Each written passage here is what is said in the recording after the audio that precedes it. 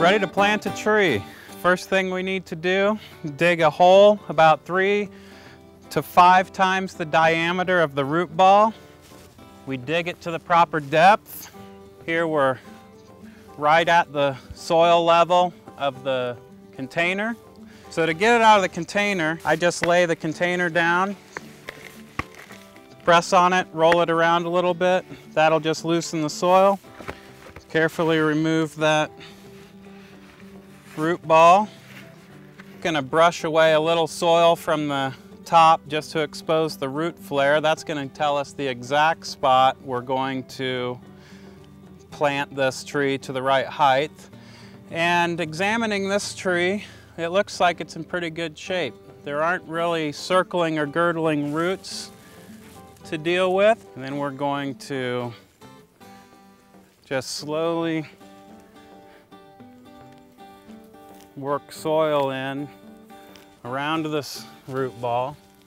Gonna double check the height. This is where I am, and this is where I should be. So this hole is a little deep. If you dig the hole too deep and you add loose soil into the bottom of the hole, eventually that soil will settle and your tree will sink down a little bit and it'll end up a little too deep. So if you do dig a hole a touch too deep, go ahead and plant your tree a little bit higher than you normally would. So when it settles, it'll actually settle into the proper depth. We did not add any organic material or fertilizer at the planting.